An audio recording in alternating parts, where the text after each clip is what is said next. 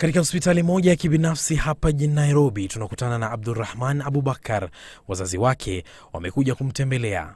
Hana tena mkono wake wa kushoto. Anasimulia alichopitia mdomoni mwa mamba katika kijiji cha Bula Baraka, kaunti ya Tana River. Nikaenda kuchota maji, ile nainama hivi mamba ikanishika mkono. Sasa ile kunishika mkono, pia nikachukua ile mkono mwingine nikatupa mtungi kando. Mamba ananivuruta kunipeleka katikati ya maji, mimi pia nakangana naye, bado nampiga mangume nini. Hawa marafiki zangu pia kwa hapo nje wako na miti sana, wanagongagonga ya maji. Lakini hata wao walifanya kuchelewa, kwani mkono wake ulikuwa umeng'atwa na kuumwa vibaya.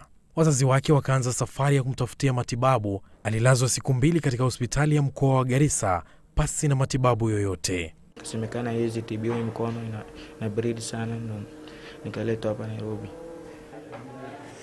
Daktari ndo hakuna. Hali yake ilikuwa mbaya sana, kusema ukweli.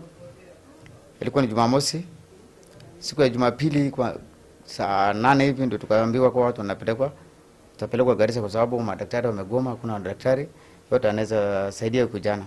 Na hatimaye alivyopata usaidizi wa mhisani mmoja kumleta katika hospitali hii ya kibinafsi, walikuwa wamechelewa, jambo linalowatoa machozi, wakisema pengine wangeokoa mkono wa mtoto wao iwapo madaktari wangekuwa hospitalini katika kaunti ya Tana River. Kulikuja daktari anaambia kama sasa mtoto hakuna njia yote itafanyika, ni lazima akatwe mkono. Kwa hivyo umekubali? Nikamwambia ndio, nimekubali. Kaulizwa kijana, kijana naye pia akisema nimekubali, sababu utamio ulikuwa unamsumbua sana mkono. Huku familia kama ya Abdulrahman zikiendelea kutaabika kila uchao kutokana na mgomo wa madaktari, ni jambo linaloendelea kuziatua nyoyo kuona kwamba juhudi za kumaliza mgomo huo wa siku 91 sasa zinaendelea kugonga mwamba.